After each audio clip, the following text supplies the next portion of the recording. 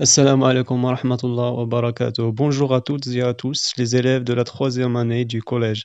Dans cette séance, on va essayer d'identifier les événements dans une histoire. Avant de commencer, on va corriger d'abord l'exercice de la dernière fois. Complète les phrases suivantes avec des actions en utilisant une énumération. La phrase numéro 1. Dans la forêt, il y avait des plantes verdoyantes. On va compléter cette phrase avec il y avait des paysages magnifiques, il y avait des animaux sauvages, il y avait beaucoup de fleurs. Pour éviter la répétition, on va effacer le mot qui se répète, il y avait. On va obtenir, dans la forêt, il y avait des plantes verdoyantes, des paysages magnifiques, des animaux sauvages et beaucoup de fleurs. La phrase numéro 2. J'ai perdu mon portefeuille, j'ai cherché sous le bureau, dans, enfin. On va compléter cette phrase avec J'ai cherché dans ma chambre, j'ai cherché dans toute la maison. Pour éviter la répétition, on va effacer le mot qui se répète. On va obtenir J'ai perdu mon portefeuille, j'ai cherché sous le bureau, dans ma chambre, enfin dans toute la maison. Écoutez le texte et cherchez le temps, le lieu et les personnages.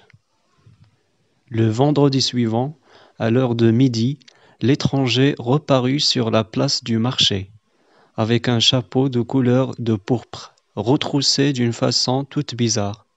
Il tira de son sac une flûte, et dès qu'il eut commencé d'en jouer, tous les garçons de la ville, depuis six jusqu'à quinze ans, le suivirent et sortirent de la ville avec lui.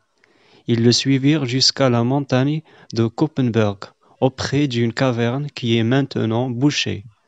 Le joueur de flûte entra dans la caverne et tous les enfants avec lui. On entendit quelque temps le son de la flûte. Il diminua peu à peu. Alors, le temps de cette histoire, le vendredi suivant à l'heure de midi. Le lieu, sur la place du marché. Les personnages, l'étranger, le joueur de flûte et les garçons. Alors, voici le texte. Le vendredi suivant, à l'heure de midi, l'étranger reparut sur la place du marché, avec un chapeau de couleur de pourpre, retroussé d'une façon toute bizarre. Il tira de son sac une flûte, et dès qu'il eut commencé d'en jouer, tous les garçons de la ville, depuis six jusqu'à quinze ans, le suivirent et sortirent de la ville avec lui. Ils le suivirent jusqu'à la montagne de Koppenberg, auprès d'une caverne qui est maintenant bouchée. Le joueur de flûte entra dans la caverne et tous les enfants avec lui. On entendit quelque temps le son de la flûte. Il diminua peu à peu. Alors, le temps de l'histoire, le vendredi suivant, à l'heure de midi, le lieu sur la place du marché. Les personnages, l'étranger, c'est le joueur de flûte, le joueur de flûte, c'est un musicien qui joue euh, de la flûte. La flûte, c'est un instrument de musique. Il y a aussi d'autres personnages, les garçons. Alors, on va identifier les événements dans cette histoire, c'est-à-dire on va chercher les actions des personnages.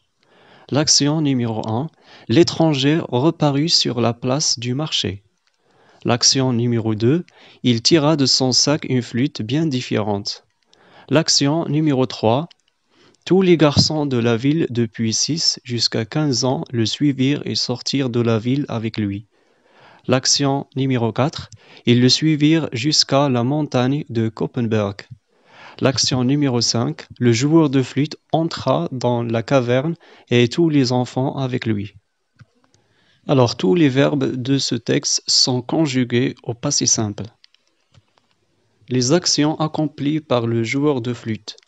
L'étranger reparut sur la place du marché. Le verbe reparaître.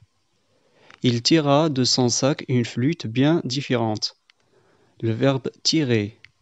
Le joueur de flûte entra dans la caverne et tous les enfants avec lui.